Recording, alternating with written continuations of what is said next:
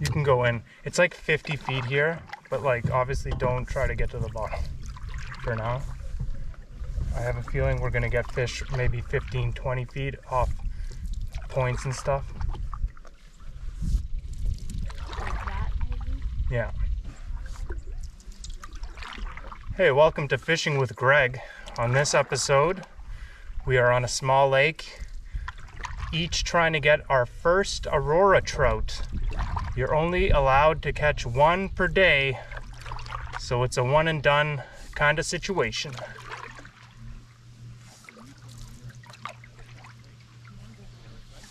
Yeah, one whether you catch it or,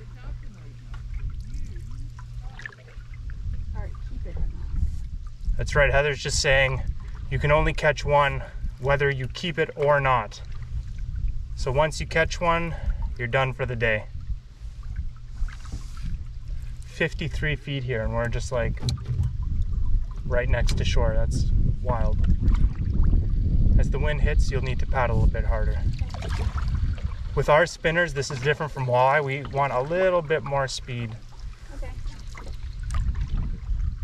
Want to get those Fosco spinners going. Crazy the depth changes. It was like 50 something, 38 here, just up and down, up and down.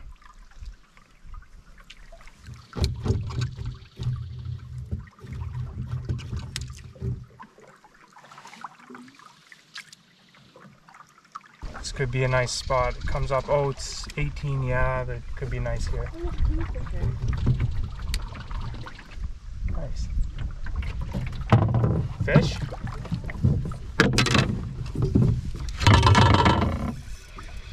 Yeah? Yep.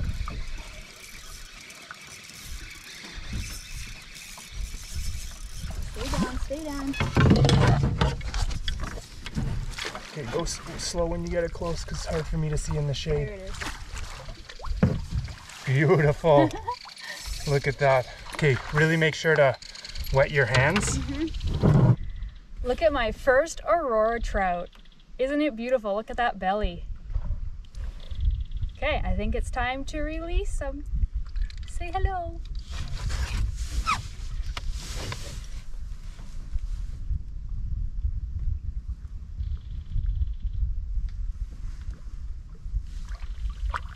Beautiful fish.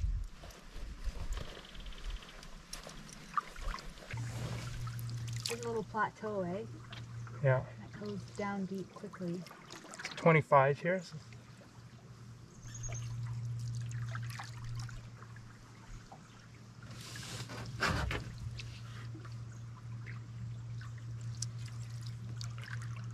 Was that five minutes of paddling or even less? I don't know. It's really fast. Hidden bottom here. 17. That might be a fish. It is small. I believe that's a fish. I think yours might have been bigger. I don't know. Oh, that's a nice one. No, it's about the same size. Oh, there's another one following it. Look at that. You see that?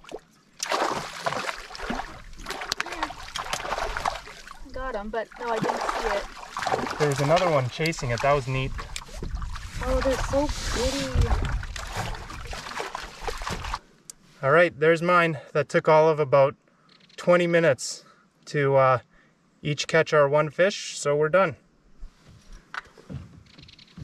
When we got back to shore, we showed our friend Greg pictures of the fish we caught. He thinks that Heather's fish is just a regular brook trout and not an aurora. After some research, we're inclined to agree with him. Although I had no idea that there were regular brook trout in this lake stocked with aurora trout. Please comment below and let me know what you think. Thanks for watching.